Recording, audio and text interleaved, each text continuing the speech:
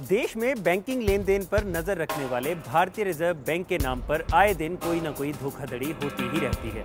आपको fake calls और fake messages तो याद ही होंगे, जिनमें कोई ना कोई इनाम देने की घोषणा की जाती थी। लेकिन ये अब धोखाधड़ी इससे भी कहीं ज़्यादा आगे बढ़ चुकी है। कुछ अज्ञात लोगों ने आरबीआई की वेबसाइट की ही हूबहू नकल तैयार कर दी है। आरबीआई ने खुद इसकी जानकारी दी है। आरबीआई ने अपनी वेबसाइट पर इस फर्जी वेबसाइट का यूआरएल साझा करते हुए इससे सावधान रहने की चेतावनी भी दी है। आरबीआई ने अपनी वेबसाइट पर यह बताया कि कुछ अज्ञात लोगों ने www.indiareserveband.org के नाम से एक फर्जी वेबसाइट बनाई है, जिसका लेआउट बिल्कुल आरबीआई की ऑफिशियल वेबसाइट के अनुसार ही है।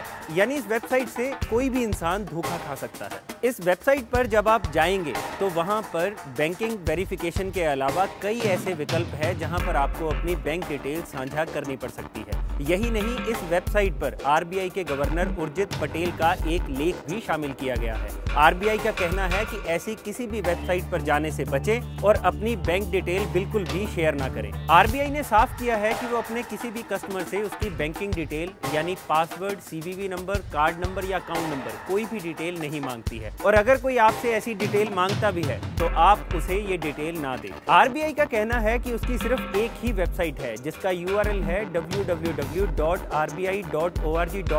इसके अलावा वो कोई भी वेबसाइट ऑपरेट नहीं करती है। आरबीआई ने दो और वेबसाइट से सचेत रहने की बात कही है, जिनके यूआरएल है www.rbi.org और www.rbi.in ये दोनों ही वेबसाइट फर्जी हैं। हालाँकि India Reserve Bank dot O वाली वेबसाइट अभी भी ऑपरेशन में है। और ये समझ से बाहर है कि अभी तक आरबीआई ने इसे ब्लॉक क्यों नहीं किया है।